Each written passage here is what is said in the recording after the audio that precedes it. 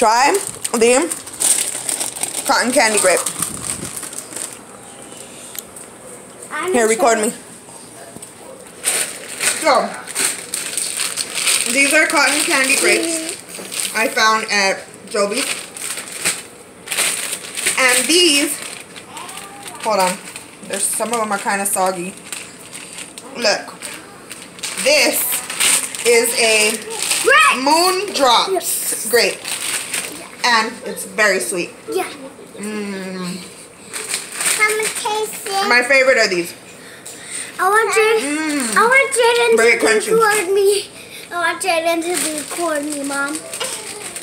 Give me one. These, they're not too sweet, but they have the taste of the cotton candy. You can taste it.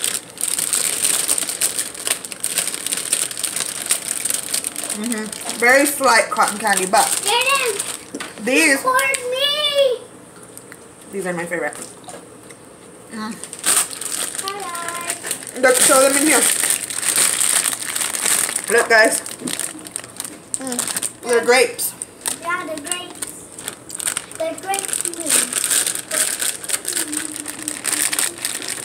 Um, I can eat the whole pack. Yeah. I let the lady at the Joe V's try this. Both of them.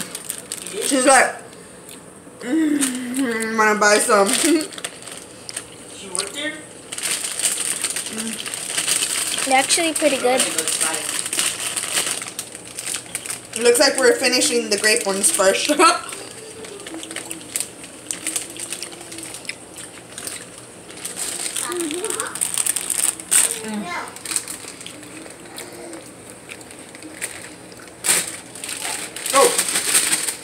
putting these up. I think they need to be cold. Like, really, really cold. Don't show my pad, girl. And then there's regular green grapes too. But when I saw these, I was like, what in the world? Look. They look like the biggest pills in history.